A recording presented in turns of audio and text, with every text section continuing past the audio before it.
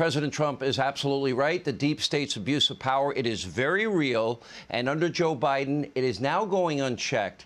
And now we find out the FBI has acquired the single most sophisticated spying tools ever designed by man. Now we're going to break this down for you. Uh, not one, but two alarming new spying scandals. It'll make you think twice about how you use your very own cell phone.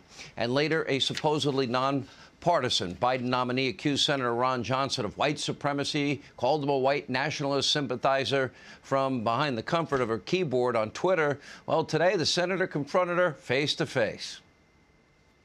How would you feel somebody just privately called you racist? Uh, first of all, I would say they're wrong. Second of all, I would uh, disagree with them. And uh, as I said earlier, but I want to reiterate that even in my critiques of people, um, I'm very careful um, never to ascribe to the person. Well, I thought, you know, I, I, heard that. I thought that was interesting. You say you never criticize the person. Um, but that's not true.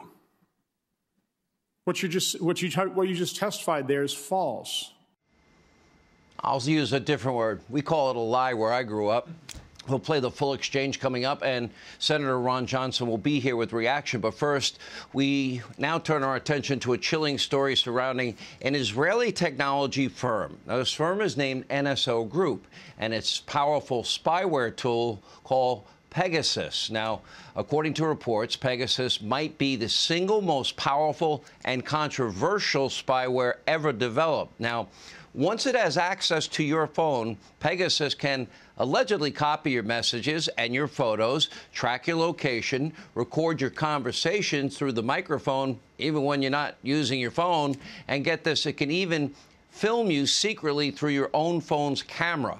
That's how sophisticated this is. The New York Times recently detailed the intensifying scrutiny over the technology after evidence that, quote, authoritarian governments are using NSO products to spy on political opponents. But according to ABC, uh, this technology is frequently used abroad to hack journalists and dissidents and human rights activists. And here's what's happening in Israel right now the Israeli government is now investigating. This is a huge controversy in Israel. Claims that the spyware was being used by the police against specific Israeli citizens, uh, specifically key witnesses in the corruption trial of former Prime Minister Benjamin Netanyahu. Uh, look at your screen. Some are even claiming that multiple witnesses were actually, because of the spying, are being blackmailed into testifying against former Prime Minister Netanyahu because of data harvested from their phones using this spyware. Oh, see all this information we have? Say what we want in court, and guess what? It'll never see the light of day. That is a massive scandal unfolding in Israel, and here's my prediction. Buckle up. It's not a matter of if, but it's a matter of when spying scandals just like this will emerge in this country. Now, here's where the story hits close to home. Even though the NSO group has been blacklisted by the U.S. Commerce Department, uh, can you guess who might have purchased a license to use this in 2019? Yep, Chris Wray's FBI. In a statement, the Bureau claims that it paid $5 million for a limited license from the NSO group for product testing and evaluation only. Then the FBI reportedly renewed the contract for another $4 million. Cybersecurity experts are now sounding the alarm about what they're calling a troubling and irresponsible move from the highest levels of the federal government, the same FBI leadership that never held their own top brass to this day accountable for the biggest corruption abuse of power scandal ever when they used that dirty Russian disinformation dossier that Hillary Clinton bought and paid for to spy on Donald Trump, the candidate, the transition team of Donald Trump and President Donald Trump. Uh, now, the only difference is they won't need to lie to the FISA court to spy. This is extremely chilling, especially because Director Wray never held these people accountable, never cleaned up his bureau of the 1%. I have my FBI pin still up right there, representing the 99% of good people that will risk their lives and obey the laws and not abuse power.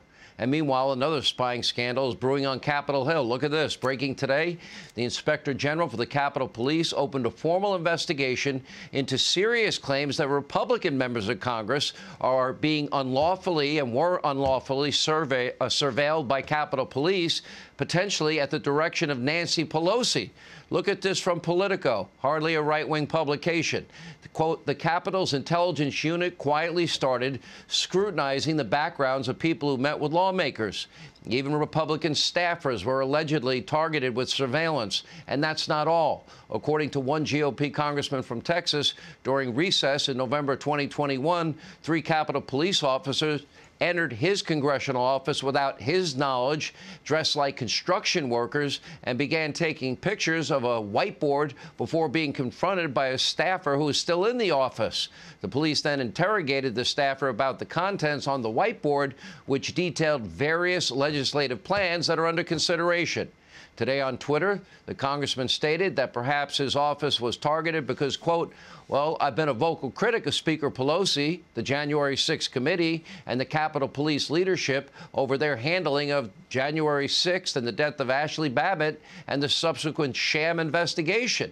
So what's really going on here? Hey, Sean Hannity here. Hey, click here to subscribe to Fox News YouTube page and catch our hottest interviews and most compelling analysis. You will not get it anywhere else.